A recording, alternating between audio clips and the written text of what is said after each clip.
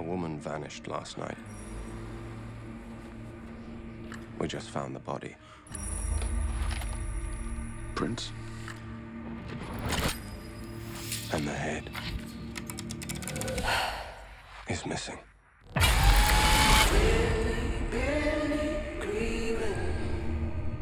He calls himself the Snowman Killer. He's completely insane. I'm thinking that he's going after women that he disapproves of.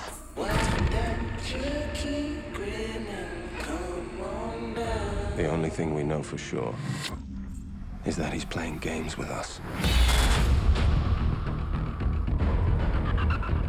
We need a way to lure him out.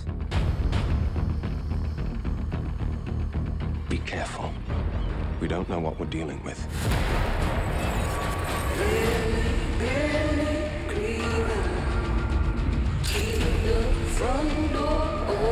He's been watching us the whole time. Building snowmen, cutting things up into little pieces. He's taunting us. If we don't find him, this is never going to stop.